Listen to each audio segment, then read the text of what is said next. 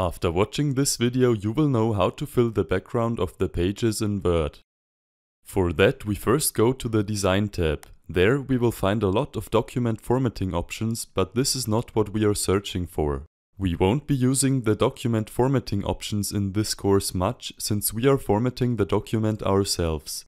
The page color can be altered in the section which is called Page Background. When we click on Page Color, we can choose from the set of predefined colors. If we cannot find a suitable color here, we can simply click on More Colors and then choose from additional colors.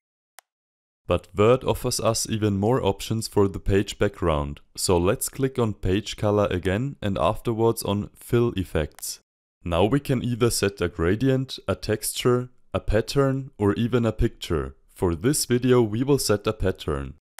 First we need to choose a pattern and then we can set a background color and a foreground color. The setup for the other fill effects is equally as easy as for the pattern we just created, so simply try them if you want to use them. And that's it, now you know how to set the background color for pages in Word and how to set fill effects. Watch the other videos to learn more about page formatting.